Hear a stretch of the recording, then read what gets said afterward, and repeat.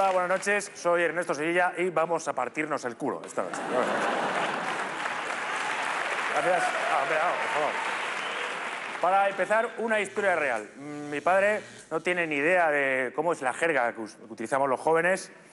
Entonces el otro día me cogió por banda, me dijo, ven aquí, hijo mío, tú que sales mucho por ahí, frente a frente, muy serio, me preguntó, tú que sales mucho por ahí, eh, te voy a preguntar una cosa. Tú...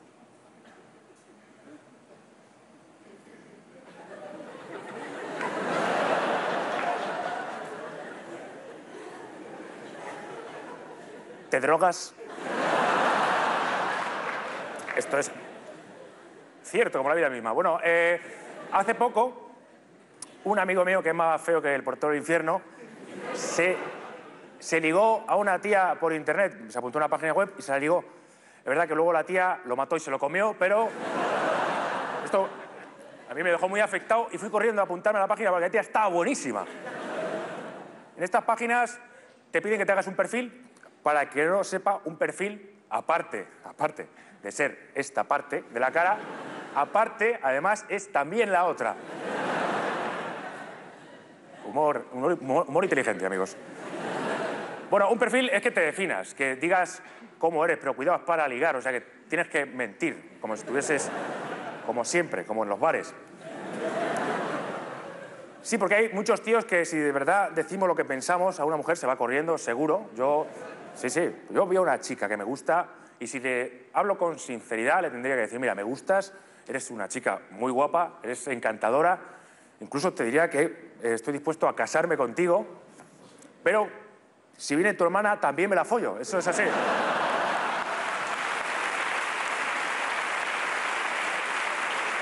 Sí. Hay casos que me puse a pensar, digo, a ver qué escribo en el perfil para resultar más atractivo. Digo, venga, pues mentiras, todo, ¿no? Soy maduro, soy maduro. Es una mentira gordísima. Yo soy muy inmaduro, soy tan inmaduro que cuando se murió Amy Winehouse no pude evitar pensar, digo, qué lástima, se acaba de poner tetas. Era así. Sí, lo siento, pero lo pensé. Sí.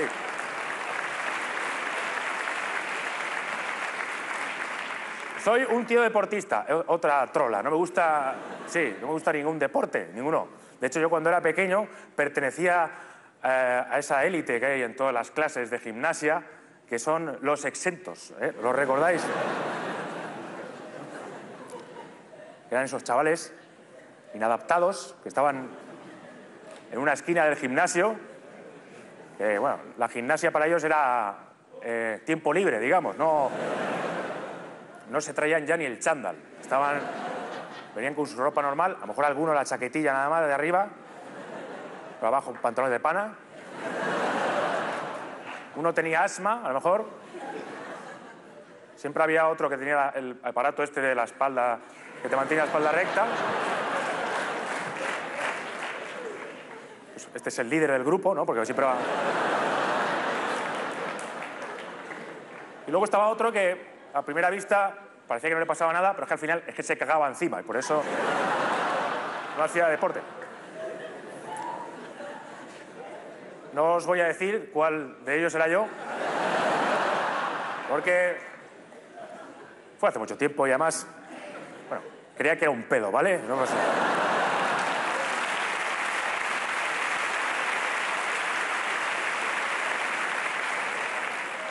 Todas las veces.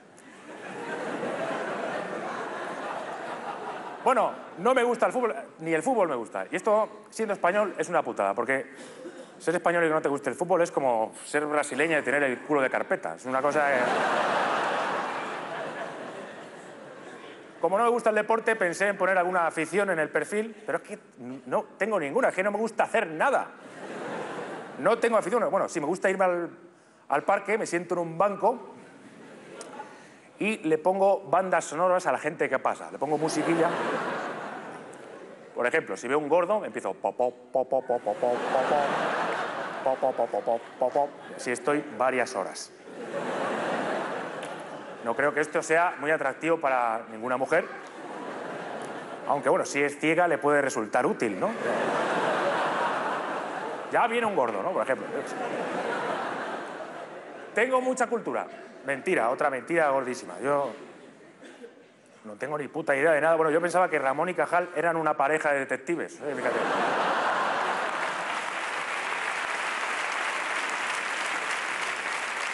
Cuando nací yo tenía la misma cara que ahora, no me ha cambiado apenas. De hecho, sí, con esta cara. Era un bebé, pero la cara era así. Muy serio. De hecho, eh, cuando mi madre le preguntó al médico que había tenido niño o niña, le dijo, ha tenido usted un señor. De hecho, el médico no sabía si darme la palmada o las buenas tardes. No sabía. La cabeza era más pequeña que la de ahora, o sea, no nací con esta cabeza. Menos mal.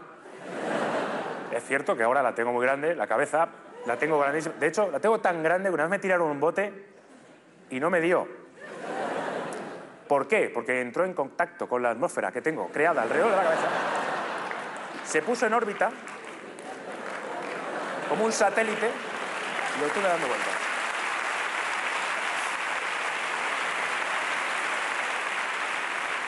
Bueno, gra- gracias a Dios, eh, la cabeza para de crecer, es una cosa que para de crecer.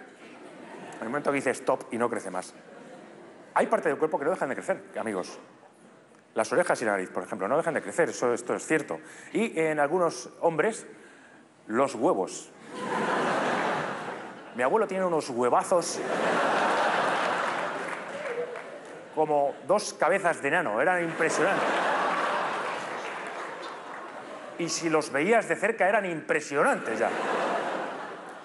Tenía mucho juego y además en todos los sentidos. Quiero decir, que tenía mucho carácter. Yo me acuerdo que a mí me suspendieron en geografía, me dijo, apruebas por, por mis cojones. Entonces, lo que, hizo, fue dibujarse dos globos terráqueos, ¿eh? Mapa físico y mapa político. ¿entiendes?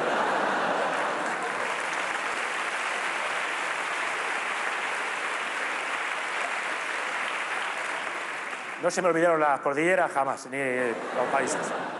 Lo único que me gusta de verdad en esta vida es el cine. De hecho, quiero ser eh, director de cine.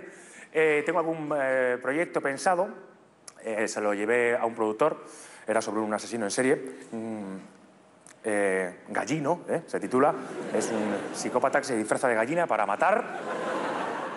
Nunca se le llega a ver del todo, solo a la silueta. Bueno, se va así. Siempre, en sus cadáveres siempre deja su firma, que es eh, plumas y un poco de alpiste. ¿eh? Es aquí está Gallino. Se lo enseñé al productor, me dijo, ¿esto se te ha ocurrido a ti solo? Y dije, sí, sí. Sí. ¿Y cómo los mata? Digo, a picotazos. ¿eh? Le dijo, bueno, me da miedo arriesgarme en estos momentos con esta película. Digo, ¿qué pasa? La crisis. Digo, no, es que es una mierda. Bueno, pues esta noche además había quedado con la caníbal, pero no voy a ir al final. Me he rajado porque he visto que en su perfil que le gusta Melendi y por ahí, eso sí que no pasó. Muchas gracias, amigos. Habéis sido un público maravilloso. Adiós.